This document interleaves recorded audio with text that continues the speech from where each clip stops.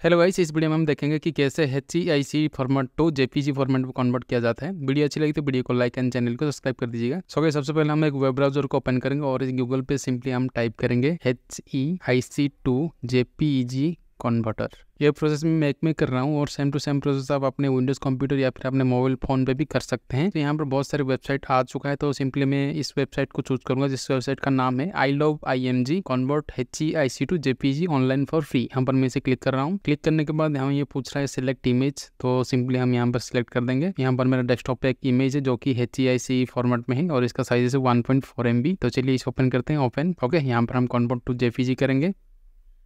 और ये स्टार्ट हो चुका है कन्वर्ट होना। और दोस्तों, देखिए, यहाँ पर कन्वर्टर हो चुका है डाउनलोड भी हो चुका है। अभी मैं जाता हूँ डाउनलोड के ऊपर। देखिए दोस्तों, यहाँ पर हमारा जो फोल्डर है, अभी जेपीजी में कन्वर्ट हो चुका है। इसका मैं आपको इन्फो दिखा देता हूँ। देखिए दोस्तों, इसका इन्फो जेपीजी में कन्वर्ट हो चुका है और इसका साइज़ है two point two M B तो वैसे आप इसी तरह किसी भी H E I C format को जेपीजी में कन्वर्ट कर सकते हैं। Thank you for watching